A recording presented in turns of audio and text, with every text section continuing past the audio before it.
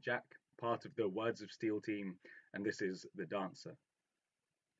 I wish to bring to light the life of Samuel Sharp, a man whose thoughts and actions were lit candles in the dark. He was born a Sagittarius, according to the stars, and was very much a centaur in the sense he saw in halves.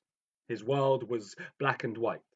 Wrong and right were separate paths, but what I want to emphasize were the colors in his craft. Sam was a dancer, remarkable, a master of the art, and every pirouette he stretched would mend another scar. You see, at school, Sam had a hard time. Despite being so bright, he was haunted by a memory that woke him every night. In his infant years, Sam had borne witness to a sight that was so grotesque and violent, in its silence, noise went white. It had imprinted in his mind a single grayscale image those blood black walls, the kitchen stool, and that breathless body in it. Sam stood shivering. His neighbors phoned the police once they were with him. His role model was a murderer, and his origin the victim. Now, suffice it to say that society was livid. With no option but adoption, Sam was bound to be a cynic, but to everyone's surprise, they found him proud to still be living.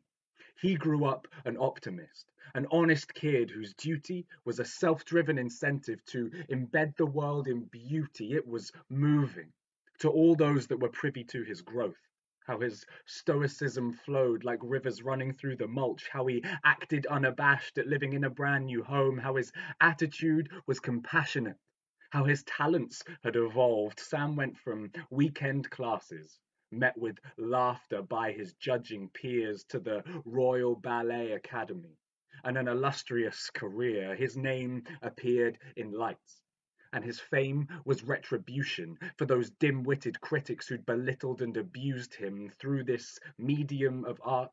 Sam had departed his confusion, but despite success and pride, he would never find his restitution.